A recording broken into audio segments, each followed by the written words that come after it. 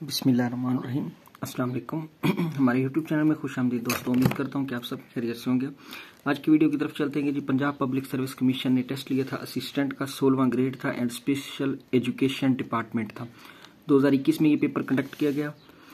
Statement को समझिए कीजिए the ratio of the length of a rod and its shadow is one ratio under square root three. The angle of elevation of the sun is, ये चार जवाब दे दिए।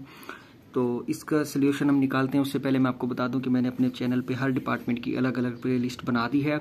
अब वो वॉच कीजिएगा। उसके अलावा 2021 बाईस एंड तेईस में जितने भी पूरे पूरे साल में कम्पिटेटिव एग्जामों में हर साल की पूरी पूरी प्ले लिस्ट मौजूद है। अब वो भी वॉच कीजिएगा जिससे आपकी तैयारी बहुत बेहतर होगी। अल्लाह आपको कामयाब करें। हम चलते हैं इसके सोल्यूशन की तरफ़। तो यहाँ पे हम लिखेंगे जी लेट करेंगे। Let length length of rod कितनी है जी? एक्स ठीक है? एंड लेंथ ऑफ़ शेडो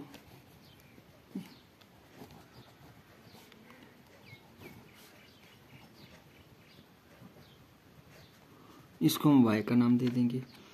तो उसकी जो रेशियो है, ठीक है ना? ये लेंथ एंड शेडो एक्स और वाई एक्स और वाई इसकी रेशियो कितनी है? One ratio square root three इसको हम ऐसे लिख सकते हैं एक्स ओवर वाई इक्वल है वन ओवर थ्री ठीक है?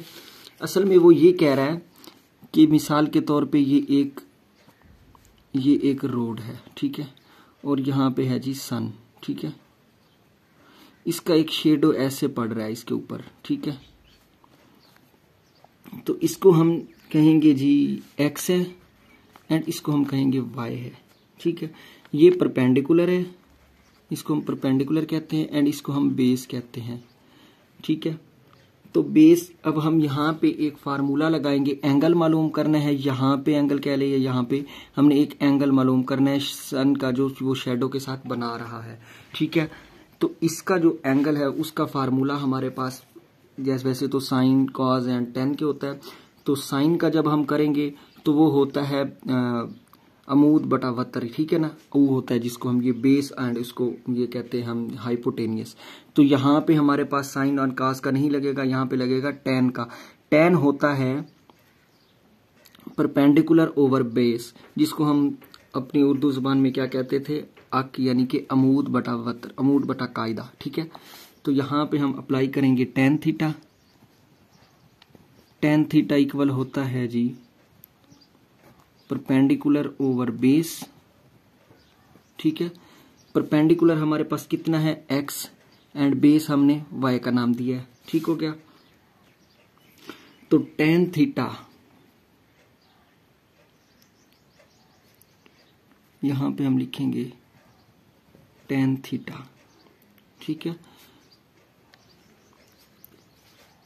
मैं आपको बता दूँ कि जो टेन थीटा होता है टेन थीटा अगर हम इसको सिक्सटी करें टेन सिक्सटी डिग्री तो ये होता है थर्टी ठीक है?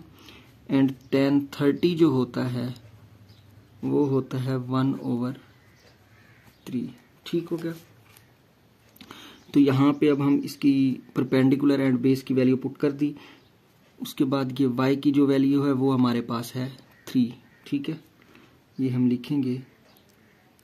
x की वैल्यू है हमारे पास वन तो वन ओवर y की जगह पे हम थ्री स्केयर रूट कर देंगे। तो ये वन ओवर थ्री मैंने आपको बता दिया, ये होती है टेन थर्टी की टी वैल्यू तो थीटा हमारे पास कितना हो जाएगा? थर्टी डिग्री हमने यही एंगल मालूम करना था कौन सा ऑप्शन दुरुस्त है ए वाला ऑप्शन दुरुस्त है। उम्मीद है सवाल की समझ आ गई होगी। अगर कोई स्टेप आपको समझ में नहीं आया तो आप कमेंट बॉक्स में मुझसे पूछ सकते हैं, मैं आपको तफसील से समझा दूँगा। अगर आपको मेरी ये वीडियो पसंद आई इससे आपके नॉलेज में इजाफा हुआ तो प्लीज़ मेरे चैनल को सब्सक्राइब कीजिए, मुझे सपोर्ट कीजिए। आप लोगों की सपोर्ट की वजह से मुझे मोटिवेशन मिलता है और मैं आप लोगों की खिदमत करता रहूँगा। आपको कामयाब करें, अपना ख्याल रखिए। अल्लाह हाफिज़।